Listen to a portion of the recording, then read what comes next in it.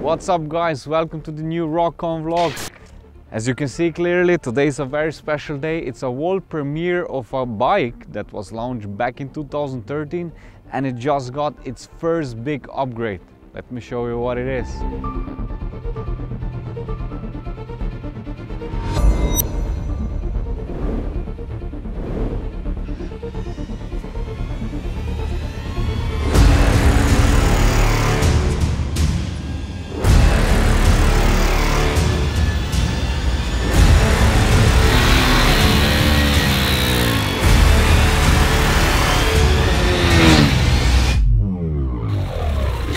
The covers are off. Welcome on the streets and on the racetracks, the brand new KTM RC 390, brand new style, lots of new technology and a lot of new features. It definitely sets new standards in its category.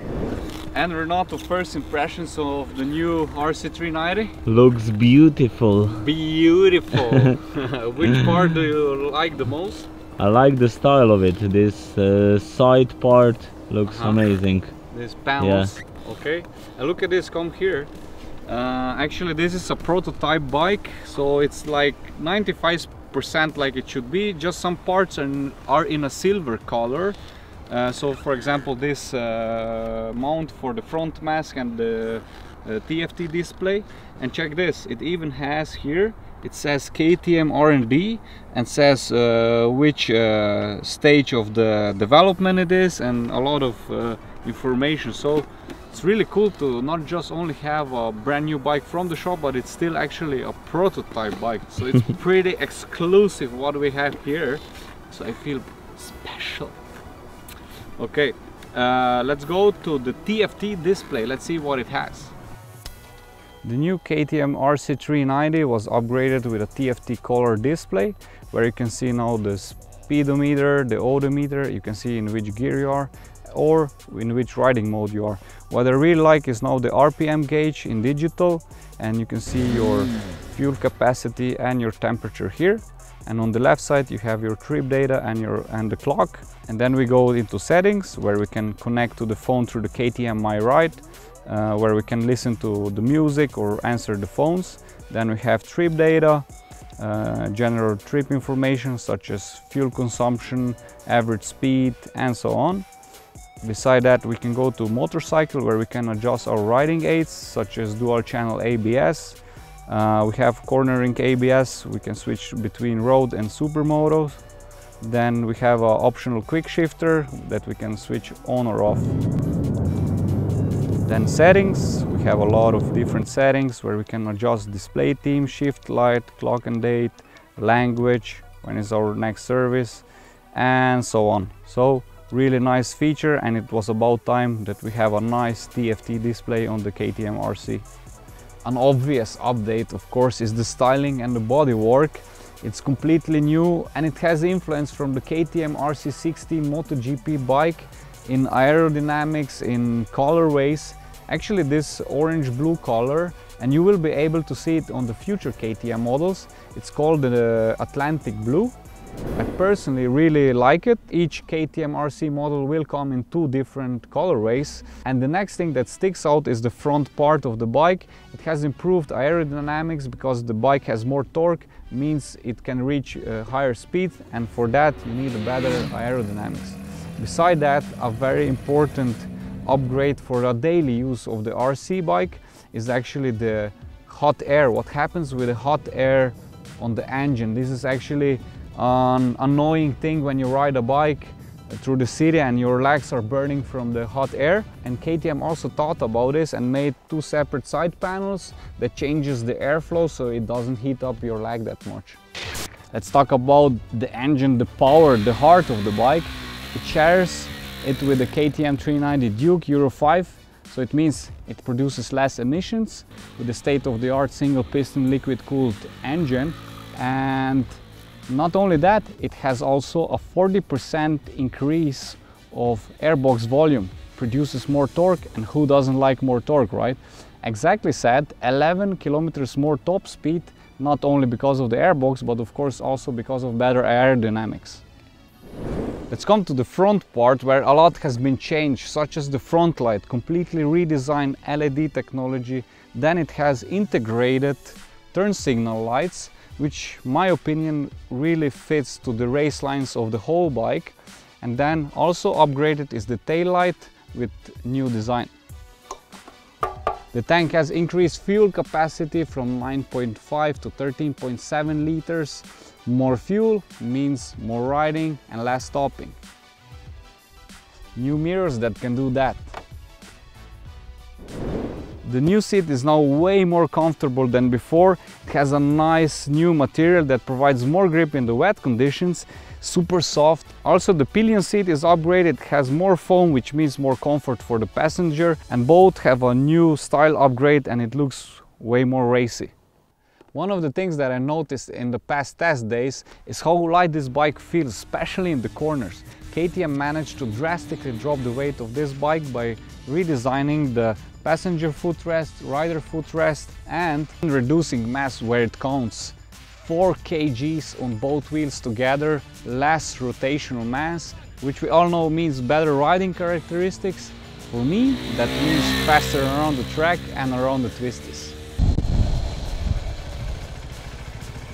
Boom! Man, this new brakes works wonder, man. I was right when we saw the prototype picture of the new RC that the front disc looks completely different and as we can see it is like it was on the prototype. So it's redesigned it's 800 grams lighter and this is an important 800 grams because it's rotational mass again so it means we can move quicker through the corners. And it gives me a really nice uh, brake feel with the four piston brake caliper radial on the front.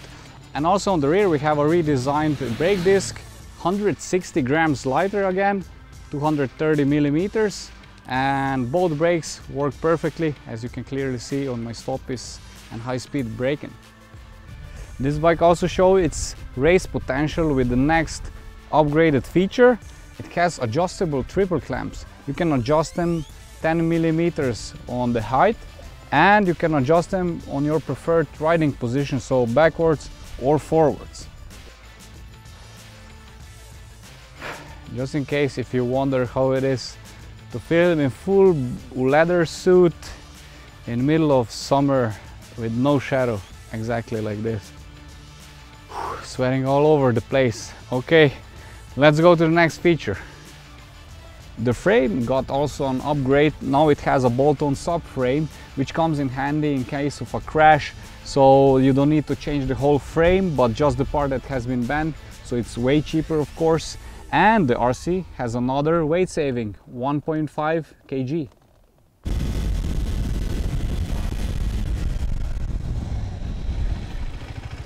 Boom. Another sick update on the RC is the new suspension. Uh, now we have adjustable suspension, 30 clicks on the rebound, 30 clicks on the compression. It's separate, so one leg is compression, another one is rebound. Also the rear WP Apex shock absorber is now upgraded. You can adjust it in five clicks for rebound and also the preload. And this combination of the new front and rear suspension makes my opinion the bike completely on another level. I can feel and be in the corner way more stable than with the predecessor. I can adjust it to my riding needs, my riding style. So the corners are now, for me, way faster and I feel way more comfortable in them.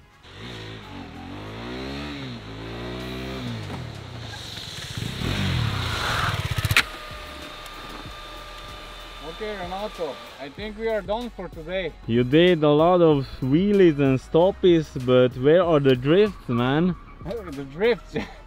you still want to see some more tricks? Yep, let's do it. Okay, uh, let me see. Because I have a super grippy Avon tire, so I don't know if it's gonna work, but you know, we let's will never know if we don't try it, right? Yep, let's go.